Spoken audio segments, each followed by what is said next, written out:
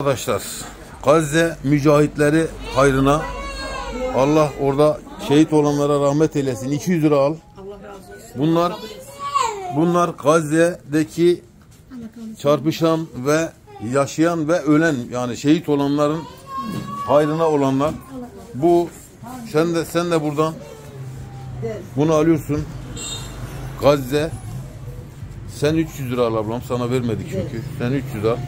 Bu Gazze mücahitleri için tamam mı? 3000 oldu. 200 daha oldu. Evet 3200. Bak burada 500 daha mı var? Evet. 500 daha var. Yine Gazze mücahitlerine devam et. Devam bu. Allah oradaki vefat edenlere rahmet eylesin. İslam alemine de Rabbim ya- birlik beraberlik versin. Sizin aminleriniz çok önemli çünkü sizin aminleriniz çok önemli sizin Duayla aminleriniz. otururum, He. duayla kalkarım. İnşallah Allah'ım kabul etsin. Şimdi ablam bak sen hiç konuşma. Sesin de çıkmasın senin. Tamam mı?